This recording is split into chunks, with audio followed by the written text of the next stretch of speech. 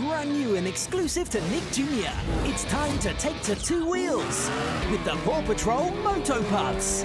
New bikes, new suits, and a new team member, Wildcat. First cat member of the Paw Patrol! Sorry, I'm allergic to cats, but welcome aboard. This cat's ready for a wild ride!